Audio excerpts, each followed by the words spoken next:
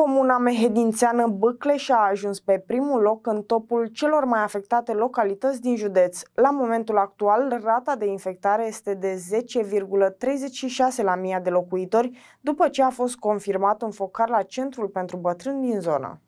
Comuna Bâcleș se pregătește de carantină. Rata de infectare din localitate a explodat după ce la centrul medico-social a fost depistat un focar de COVID-19.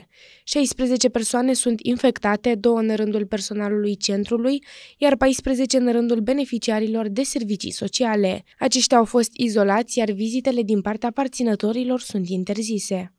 În data de 18 martie, la Centrul Rezidențial de Asistență Medico-Socială și Îngrijire Medicală Bucleș au fost testate conform metodologiei 16 persoane, parte din personalul de îngrijire. Dintre acestea, 3 persoane au fost confirmate COVID 19. Iar în data de 25 martie au fost testate 41 de persoane, dintre acestea 14 personal de îngrijire și 27 beneficiari.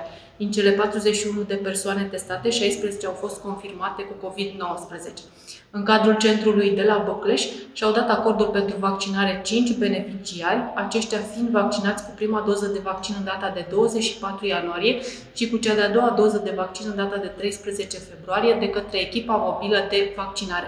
Direcția de Sănătate Publică Mehedinți a dispus o serie de măsuri pentru prevenirea răspândirii îmbolnăvirii cu virusul SARS-CoV-2.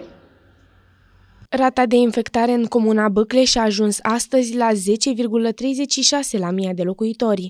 Totodată, la momentul actual, în județul Mehedinți sunt carantinate comunele Vânător și Godeanu, iar municipiul Drobeta Turnu Severin se află în scenariul roșu.